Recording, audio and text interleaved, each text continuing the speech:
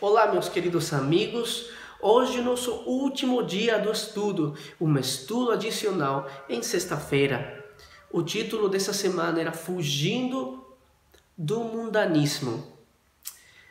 É, tem um texto que Ellen White escreveu no Testemunhos para a Igreja, volume 4, a página 62, que diz o seguinte: Lembrem-se de que o dever, a obediência, tem um irmão gêmeo, o amor.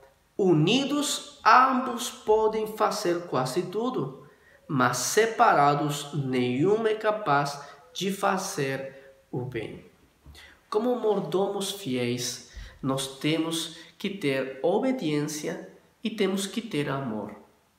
Nessa semana, nós temos observado que uma vida de comunhão com Deus é muito importante. Você vai obedecer aquilo que nós estudamos essa semana? Ter uma melhor comunicação, uma melhor comunhão com Deus? Não somente pode ser de conhecimento, mas também tem que ser na prática. E a prática nos faremos por amor, porque amamos Jesus não porque tenhamos que fazer para merecer alguma coisa, não. Nos faremos porque realmente amamos nosso Deus. E que cada coisa que você faz para a igreja seja motivada pela obediência que você tem a Deus, mas também por amor. As coisas que nós fazemos por Deus têm que ser coisas motivadas pelo amor.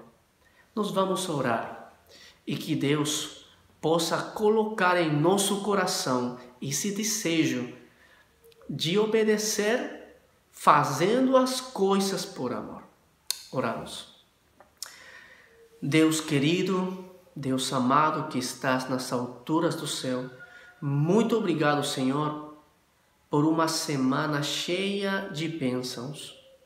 Hoje, em sexta-feira, que o Senhor possa colocar em nosso coração esse desejo de obedecer ao que está escrito na tua palavra e de fazer, Senhor, colocar tudo na ação, motivadas pelo amor.